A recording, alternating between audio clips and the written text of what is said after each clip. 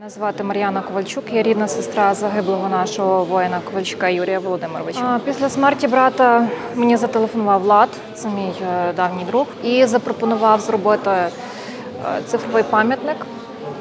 Від мене потрібно були матеріали, інформація, все, що пов'язано з братом, так як е, від дитинства ми з ним разом росли.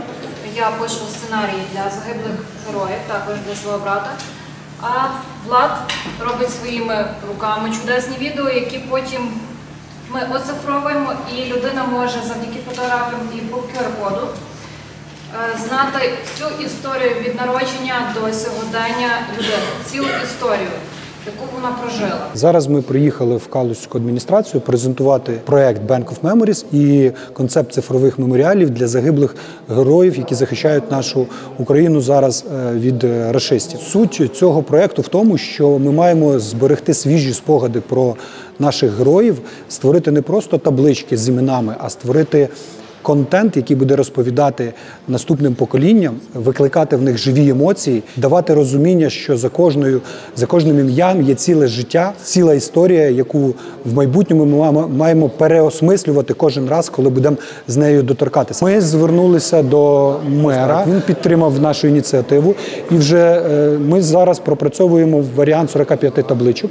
Е, Вибираємо найліпший матеріал е, для виконання цих табличок і збираємо команду е, волонтерів, які допоможуть нам в створенні відеороликів. Ну, в принципі, вже над цим працюємо. Це області у відчайдушній боротьбі з ворогом Юрій Ковальчук загинув, похований 6 жовтня на Алеї Слави Калузького міського кладовища. Важлива інформація також, яка відбувається там на передовій, яка також буде взята е, до. Так. Нашу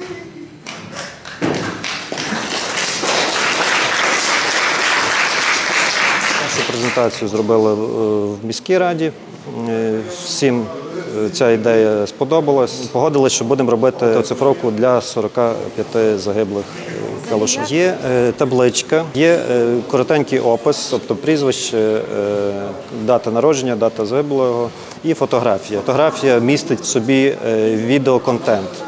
Тобто е, людина наводить телефон, знімає QR-код, скачує додаток е, спеціальний для того, щоб можна було цей відеоконтент подивитися. Тому що читати, читати інформацію не хочуть, а коротенько ролик 3-5 хвилин тому сучасному, як то кажуть, вигляді ну, можуть це зробити і всім це до. Справді це все хочемо розповсюдити на всю Україну.